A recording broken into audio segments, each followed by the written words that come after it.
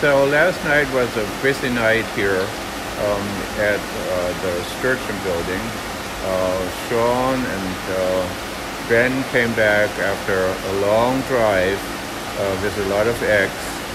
And um, in fact, uh, what I was told, it was 150,000. And they did go ahead and fertilize the eggs um, and were done with their job um, at short before 2 o'clock that shows how dedicated they are.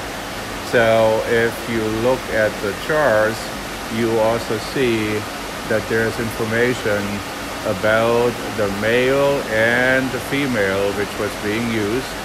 Um, and since also sturgeons are, are being tagged, uh, we know what male and female have been used. And um, we also look at what are the best matches by looking at the DNA structures. So let me go a little bit closer. And here you see how busy it is in those hatching jars and um, they're supposed to hatch within a very very short time um, which is in fact this weekend.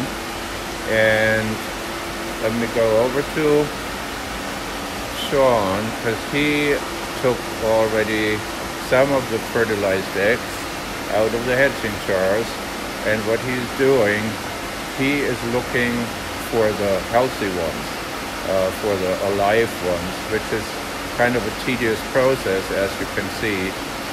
Um, this uh, sometimes it happens uh, you know that uh, a female doesn't have very very good eggs or also that uh, the milk uh, from a male is not very good.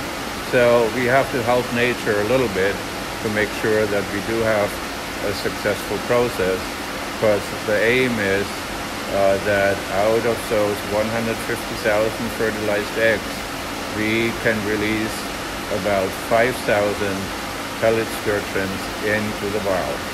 So more to come. Bye-bye.